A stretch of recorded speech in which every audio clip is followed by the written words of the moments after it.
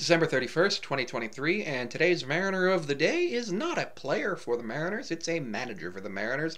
Lou Piniella, who guided the Mariners to some of their greatest seasons, was the first man to make the Mariners make the playoffs. He unfortunately did not win a World Series with them. In 3,548 games, he won 1,835 of them and lost 1,713 across multiple teams. Now, he did win multiple World Series. He is currently 80 years old little over 80 years old, had a couple of years with the Yankees, a couple of years with the Reds, where he won the World Series in 1990. Uh, and then from 1993 to 2002, he was with the Mariners, where he made four of the team's five postseason appearances. He also was the manager in 2001 when the Mariners went 116 and 46 for a 716 winning percentage, but only a 400 winning percentage in the postseason, which was unfortunate. He then went on to what was then known as the Tampa Bay Devil Rays and the Chicago Cubs, winning one pennant and one World Series over a course of 23 years. Uh, excellent manager, and he did get ejected a lot, which was kind of cool. You want your manager to be somebody like that. He did play 16 seasons in Major League Baseball with the Orioles, Cleveland Guardians, Kansas City Royals, and Yankees. He was named a Rookie of the Year and won two World Series championships with the Yankees in 77 and 78. He became a manager of the Yankees. He's from Tampa. Asturian. Um, and played American Legion Baseball and Pony League Baseball in Florida.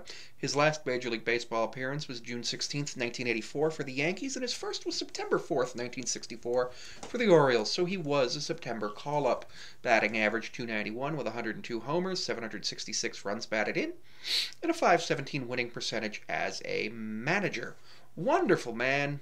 Um, he did go on to broadcast for a little bit uh, on MSG Network for the Yankees, and he also was with Joe Buck and Tim McCarver for Fox Sports for a couple of years. He is now back on Yes. I'm sorry, he's no longer back on Yes. He went back on Yes in 2012 and he's been married since 1967. They have three children.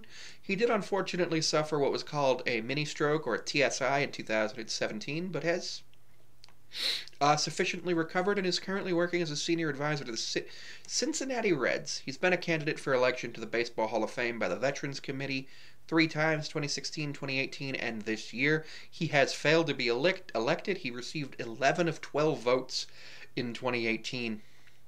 And then again this year, he received 11 votes, meaning he was one short of what he needed to make the Hall of Fame. I do believe that he should be in the Hall of Fame because I do believe he's actually in the top five of managerial wins.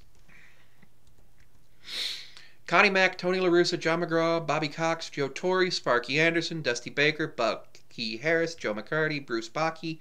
Well, okay, he's actually not. He's 17th in managerial wins, but he only needed like 165 more to break into the top 10. Or, I'm sorry, not top 10. Yeah, like about 165 more and he would have been top 10. So like two more seasons and he would have been. But I think he should be in the Hall of Fame as there are managers in here in the Hall of Fame. Win percentage is 663 is the highest, but that was uh, excuse me, Vic Harris, who only managed 845 games. Joe McCourty, uh, McCarthy managed 3,487 games and won 2,100 of them. 2,125. Absolutely amazing what he was able to do and what he meant to the Mariners, getting us to the playoffs for the first time. Uh, oftentimes, when we have a problem with our current manager, Scott Servais, for not, you know, getting into the face of other teams or the umpire, when people keep hitting our guys with pitches, we compare them to him and hope that he or somebody like him comes and manages the Mariners again.